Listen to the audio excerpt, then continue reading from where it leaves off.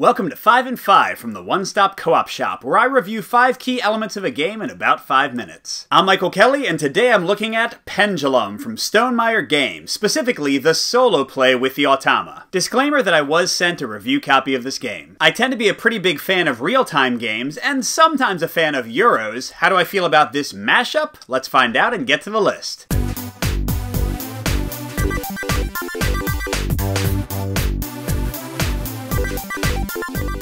I'm starting out with a mix at number 5, and that's how the Automa runs in the game. On the positive side, I like how they compete with you through a pretty simple card mechanic. And one nice thing is that they have a lot of difficulty options here, so you can tailor the game to exactly how much challenge you want. But another cool thing that kind of reminds me of a game like Galaxy Trucker is that as you get better at the game, you have the option of flipping up their cards ahead of time and seeing exactly how many votes they'll have, so you can tailor your strategy exactly to what you need to beat them, making it a more skillful experience experience overall. But on the negative side, you also have to deal with the Automa during the real-time phase, flipping up cards whenever you take one of your workers off of a spot, and it kind of works, but they often don't do anything of importance, so it feels kind of like busy work, which I guess raises the tension of the real time aspect, but also isn't very fun or exciting and just, again, feels like a chore sometimes. But something that's not a chore and I really enjoy is my number four, which is how scoring is handled in the game, especially during the council phase at the end of each of the four rounds. First of all, the victory conditions and scoring themselves are straightforward but pretty fun. You've got a three tracks that you're advancing, and and kind of like some other Euros, you really want to pay attention to your furthest back track and make sure you boost that.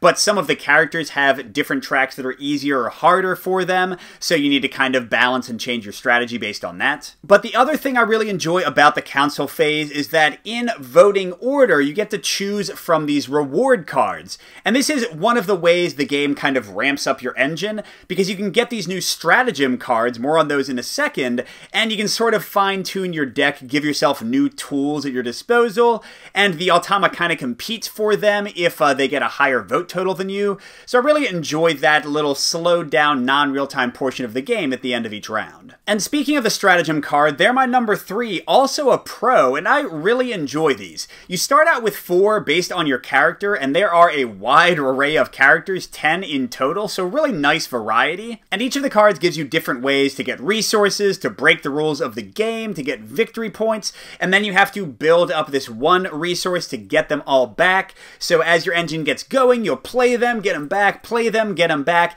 It's uh, pretty cool and definitely gives the game its strongest kind of ramp up feeling. But I'm back to a mix for my number two, which is the core action placement and worker placement mechanics of the game. And on the positive side, these are very straightforward, which you probably need in a real-time game like this. You have some spaces at the bottom that are very fast in terms of the hourglasses where you get your basic resources, uh, spaces at the top that are good for victory points and kind of building your engine with more provinces.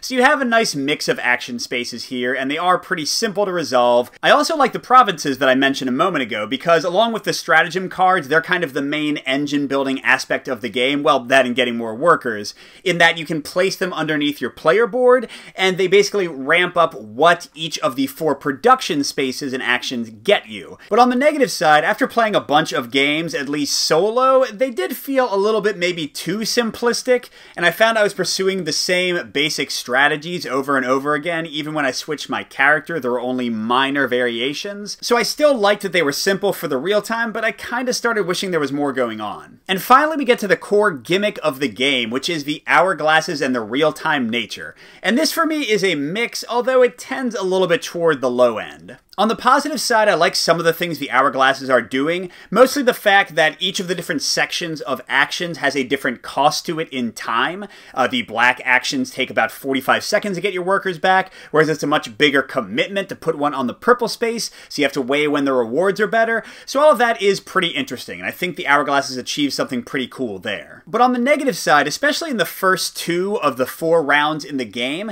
there will be many, many times where you're just sitting kind of waiting for the sand to run out, and it lacks some of the tension of my favorite real time games. You just have sort of too much time to wait and think. Overall, I had read and heard some pretty meh opinions on Pendulum, and for me, at least for the solo play, I found it pretty decent. Not amazing, not blow me away, but I liked the stratagem cards. I thought the basic actions were interesting sometimes, the hourglasses were sometimes fun, the game sometimes had tension, but you're hearing me say the word sometimes a lot. This is definitely not a strong recommend for me. I think there is going to be a lot of frustration or boredom with the hourglasses and waiting for them to resolve I think the overall strategy might feel too simplistic unless you push the difficulty all the way up to the top and use the most complicated characters, but then it might be a little bit frustrating in other ways.